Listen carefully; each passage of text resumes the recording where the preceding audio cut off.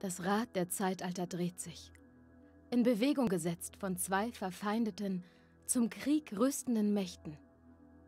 Der Staatenbund, das größte Reich der Menschen, breitet sich auf jedem Kontinent aus.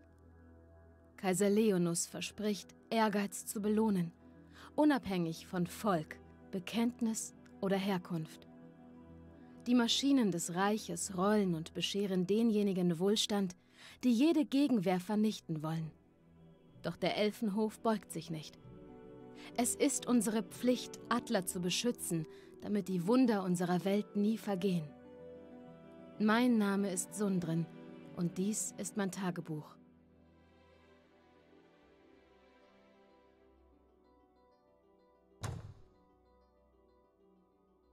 Mein Vater ist König Saridas, einst erster Sturmherr der Dunkelelfen. Meine Mutter ist Julia, frühere Königin der Waldelfen. Ihre Leidenschaft verband Licht und Dunkel, und die Hochelfen entstanden neu. Ihre Macht verlieh Injochs altem Elfenhof neuen Glanz. Mein Bruder, Prinz Tanis, ist der Erstgeborene. Er wurde in Kriegskunst und Staatsführung ausgebildet und ist zu Großem bestimmt. Ich bin die Zweitgeborene, ein Mädchen. Mein Vater erwartet von mir nur, dass ich einen mächtigen Ehemann heirate. Aber ich will das nicht. Nach außen hin mag ich eine pflichtbewusste Tochter sein, doch ich habe trainiert und spioniert.